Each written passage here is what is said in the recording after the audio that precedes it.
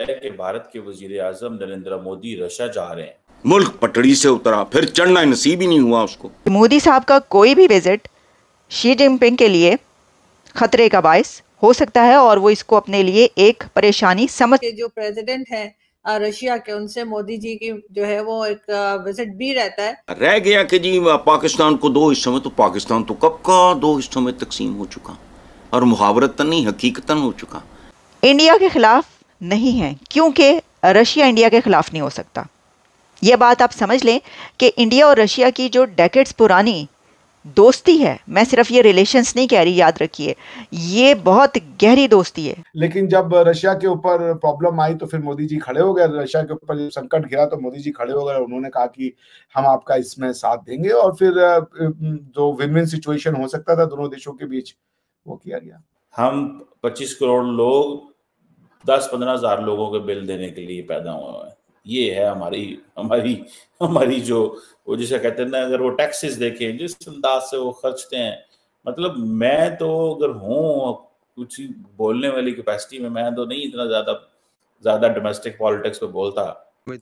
दोस्तों इस वक्त बात ये चल रही है कि भारत के वज़ीर आज़म नरेंद्र मोदी रशिया जा रहे हैं। और वो अपने पहले बायलैटरल ट्रिप पे रशिया क्यों जा रहे हैं? ये एक बायलैटरल ट्रिप है। इससे पहले जब prime minister Modi G seven की मीटिंग में गए थे समिट में गए थे तो वो एक मल्टीलैटरल फोरम था।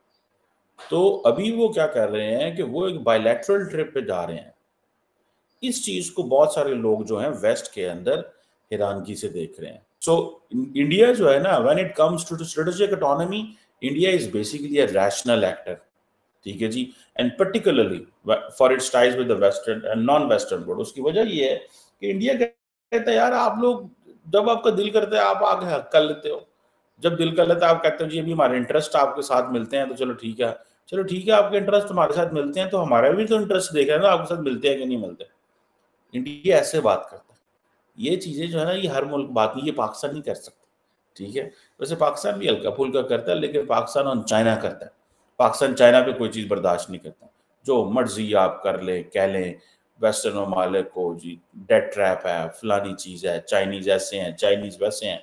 पाकिस्तान जो है ना, ये चीज़ फिर चाइनीज़ को भी अच्छी लगती है पाकिस्तान की कि एटलीस्ट पाकिस्तान जो है ना, उसकी दोस्ती इस इस लेवल पे है। ठीक है जी? अब रशिया का जो जो पहले जिसे कहते हैं ना, बहुत ज़्यादा वेपन दिया करता था। ठीक है जी? तो अब वो कम हो गया। पहले आप देखें कि रशिया जो है, अगर 2019 से 13 की मैं एक स्टडी देख रहा था सिपरी की stock Stockholm International Peace Research Institute की, अगर उस वक्त 76 परसेंट इंडिया रशिया से इम्पोर्ट वेपन कर रहा था। अब जो है वो तकरीबन 2019 से लेके 2023 का अगर देखें तो सिर्फ़ 36 फ़ीसद है। So it means Russia India has gone to France India has gone to America India has gone to Israel, India has gone to other destinations, and there is some sort of indigenous development जिसे वो आत्मनिर्भर भारत कहते हैं। ठीक है जी। तो ये अपनी वो फॉरेन पॉलिसी को जो है वो डाइवर्सिफाई करने के चक्कर में वेस्टर्न जो कंट्रीज़ है जैसे मैंने कहा उनसे वो जा उनके पास जा रहे हैं। और एंड देन अबव ऑल जिस चीज़ के लिए प्राइम मिनिस्टर मोदी जा रहे हैं that is discounted discounted oil ये वही डिस्काउंटेड ऑयल है जो इंडिया रशिया से खरीद खरीद के घर में उसको रिफाइन कर, करके और अमेरिका और यूरोप को बेच रहा है। इस चीज़ पे वो पढ़ते हैं कि ये हमारे साथ हो क्या रहा है। ठीक है जी। अब वेस्टर्न वर्ल्ड का ओ जी, आप तो उसकी रशिया की वॉर इकोनॉमी को सपोर्ट कर रहे हैं। आप उसकी वॉर इकोनॉमी को सपोर्ट कर रहे हैं।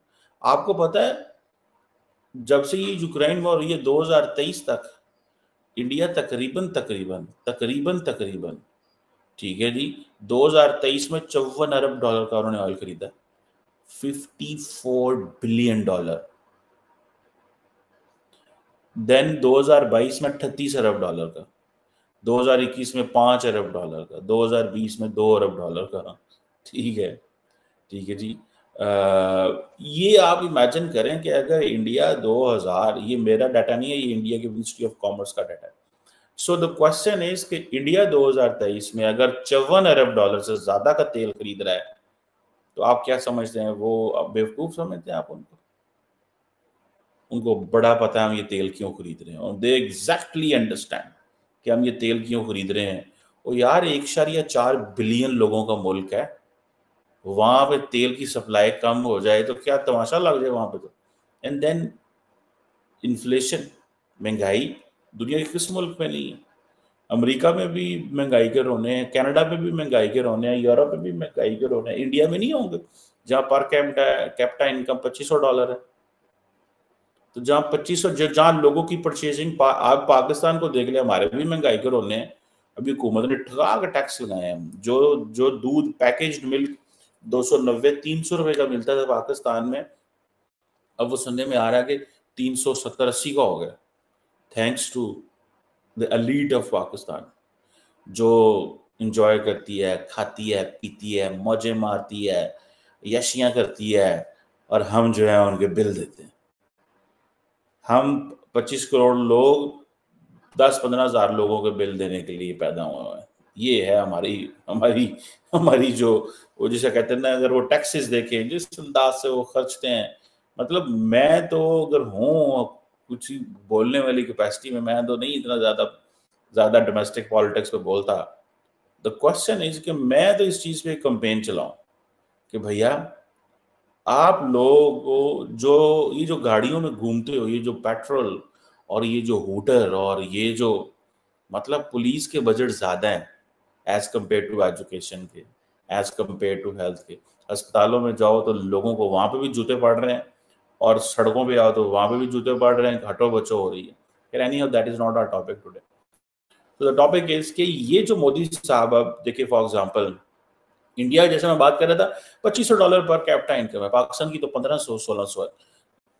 कई लोग सत्रह सौ कहते हैं एनी हो अगर पच्चीस डॉलर पर कैप्टा इनकम पे अगर वो बाहर से तेल इंपोर्ट ना करें तो तेल की कीमतें बढ़ जाए डॉक्टर जयशंकर ने ये कहा हुआ है कि हम तीस हमारी यहाँ पे तीस रुपए तक तेल बढ़ जाना था ठीक है जी सो so, इंडिया जो है वो बेसिकली रशिया को ऑन बोर्ड लेने जा रहा है कि पाइन ये ਜਿਹੜੇ ਸਾਡੇ ਤਲਕਾਤ ने ना रशिया ਦੇ ਨਾਲ ਉਹਦੇ ਨਾਲ ਅਮਰੀਕਾ ਦੇ ਨਾਲ ये जो हम वेस्ट के साथ गुडी गुडी हो रहे हैं ये कोई ऐसी बात बड़ी बात नहीं है डोंट वरी हमें तुम्हारा, तुम हमारे साथ तब थे जब कोई नहीं था। ठीक है? सो हम अपनी स्ट्रेटेजिक ऑटोनॉमी को कर रहे हैं। और दूसरा, नरेंद्र मोदी साहब उनको ये भी बताएँगे कि ये जो चाइनीज़ हैं, ये हमारी बात नहीं सुन रहे। चाइनीज़ हमें लिफ्ट नहीं करा रहे। मामला हमारे बॉर्डर पे ख़राब है। एलओसी पे हमारे साथ डायलॉग नहीं कर रहे। हमें इंगेज नहीं कर रहे। सो लिहाजा हमें अपनी ऑप्शंस को देखना है।